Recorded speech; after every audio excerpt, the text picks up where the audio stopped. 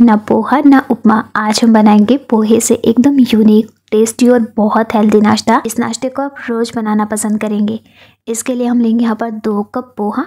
अब पोहे को हम दो से तीन बार पानी से अच्छे से धो लेंगे, जिससे इसमें जितनी भी डस्ट रहेगी वो सारी निकल जाएगी। तो इस तरीके से रगड़ते हुए हमें पोहे को धो लेना है। अब इसमें से सारा पानी निकाल देंगे और पाँच मिनट के लिए हम इसे ऐसे ही रहने देंगे। पाँच मिनट के बाद पोहा एकदम सॉफ्ट हो गया है तो इसे हम अच्छे से मैश करेंगे और इसका एक डो लगा लेंगे। तो अच्छे से मसलते हुए हमें इसका डो लगा लेना है और इसमें लेंगे टू टेबल स्पून चावल का आटा। चावल के आटे की जगह आप यहाँ पर सूजी या मैदा भी ले सकते हैं। इससे नाश्ते में बाइंडिंग अच्छे से आएगी। आप चाहे तो सूजी या मैदा भी ले सकते हैं। कुछ मसाले लेंगे जिसमें लिया है हाफ़ टी स्पून जीरा। One four teaspoon crush की हुई काली मिर्च, एक बारीक कटी हरी मिर्च, एक इंच अदरक के टुकड़े को ग्रेट करके लिया है और एक बारीक कटी हुई लाल मिर्च है।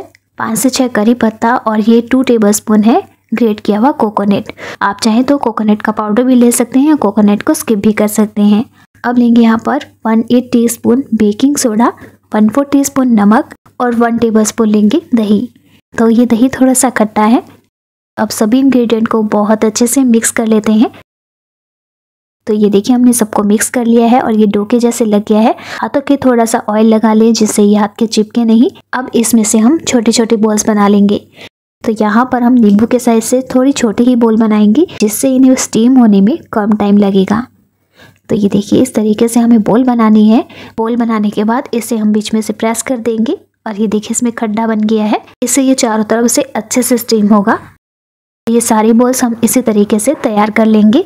अब चलते हैं गैस की तरफ़। और गैस पर एक कढ़ाई में पानी गर्म होने के लिए रखा था। पानी तेज गर्म हो चुका है। इस पर हम ये जाली वाली प्लेट रखेंगे। इस प्लेट को भी हमने ऑयल से ग्रेस करके रखा है। अब ये सभी बॉल्स हम इस प्लेट पर रखेंगे। तो थोड़ी थोड़ी दूरी पर हम इन्हें रख देंगे। अब कढ़ाई को अच्छे से कवर कर दें और 10 मिनट के लिए हम इन्हें हाई फ्लेम पर स्टीम को खोने देंगे। तक ये बॉल स्टीम होती है, हम एक कढ़ाई में लेंगे one tablespoon oil oil जैसे ही गर्म होगा, इसमें वन टीस्पून सरसों के दाने वन टीस्पून लेंगे उड़द दाल वन टेबल स्पून लेंगे सफ़ेद तिल, पाँच से छः करी पत्ता और टू टेबल स्पून लेंगे क्रश किया हुआ पीनट तो इन सब के साथ हम एक ग्रेवी तैयार करेंगे, जिससे ये नाश्ता और भी ज़्यादा टेस्टी बन जाएगा। लो फ्लेम पर इन सबको चलाएँगे, जिससे पीनट भी अच्छे से फ्राई हो जाएँगे। अब लेंगे हम यहाँ पर एक मीडियम साइज़ का बारीक चॉप किया हुआ प्याज और प्याज को हम ट्रांसपेरेंट होने तक अच्छे से कुक कर लेंगे। और यहाँ पर 10 मिनट के बाद ये देखिए ये बॉल स्टीम हो चुकी हैं। कढ़ाई का कवर हटा दें और इन्हें ठंडा होने दें। अब ये थोड़ी सी चिपकी हुई हैं। जैसे ये ठंडी होगी, इन्हें आप आसानी से निकाल सकते हैं। इन्हें हम साइड में रखेंगे और प्याज को फ्राई कर लेंगे। और यहाँ पर हम लेंगे ग्रेट की हुई अदरक। स्वाद अनुसार नमक डाल देते हैं। तो नमक हमने पहले भी डाला है तो आप नमक ध्यान से डालें। प्याज अच्छे से फ्राई हो गए हैं तो इसमें लेंगे हम एक बड़े साइज़ का बारीक कटा हुआ टमाटर। आप चाहे तो टमाटर को ग्रेट करके भी ले सकते हैं। अब हमें टमाटर को तब तक पकाना है, जब तक ये ऑयल रिलीज़ नहीं करे। अब लेंगे हाफ़ टी स्पून कश्मीरी लाल मिर्च पाउडर स्वाद अनुसार लाल मिर्ची powder one four teaspoon लेंगे हल्दी पाउडर और थोड़ा सा गर्म मसाला। इन सभी मसालों को भी टमाटर के साथ रोस्ट कर लेंगे। कढ़ाई को दो मिनट के लिए कवर करके रखेंगे, जिसे टमाटर ऑयल रिलीज़ कर दे।